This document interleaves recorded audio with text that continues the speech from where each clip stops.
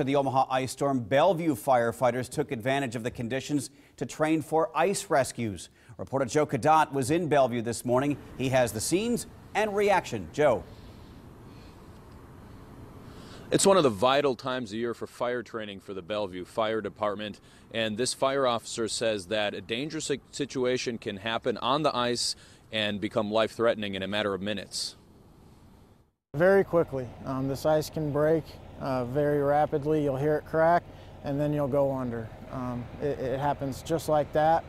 Um, and then a few few minutes in that water, your body will start to shut down. The more firefighters pull each other out of the ice, the faster they'll get during an emergency. We just need to be ready. Um, like I said, we only train, get this training in the wintertime once or twice. So the more you work on it in that period, uh, the better off you'll be when when and if you need to use it. Battalion Chief Kurt Strakota says a number of these firefighters are new recruits. It's more of a building comfort and as well as just the experience and practice. While they only use these skills once or twice a year,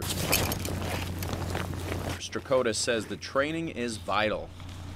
It's really important because if, you know, they may be few and far between for the rescues that we actually go on, but it's going to be that one that we need it.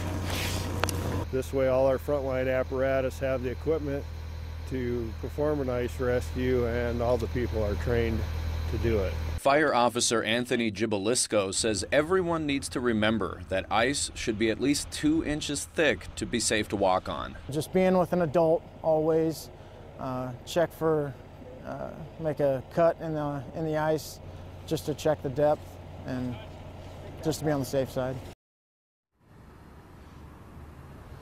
The battalion chief says that with temperatures expected later in the week in the 40s, that thin ice can be expected around shorelines and objects like sticks and rocks stuck in the ice.